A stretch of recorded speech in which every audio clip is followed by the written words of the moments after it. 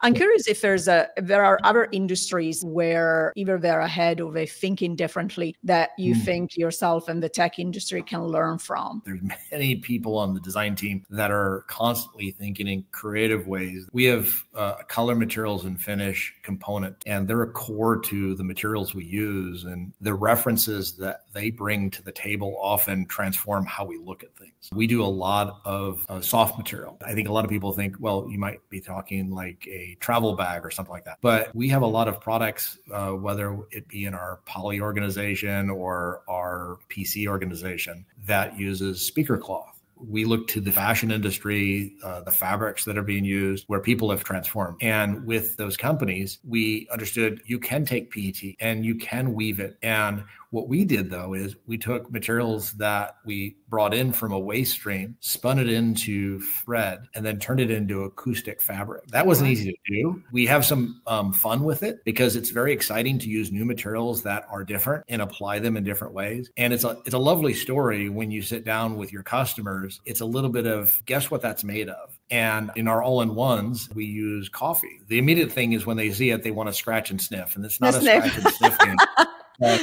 one thing that I, I, think always happens is you have to help the end user, the customer, understand that their material that they have in their product is special.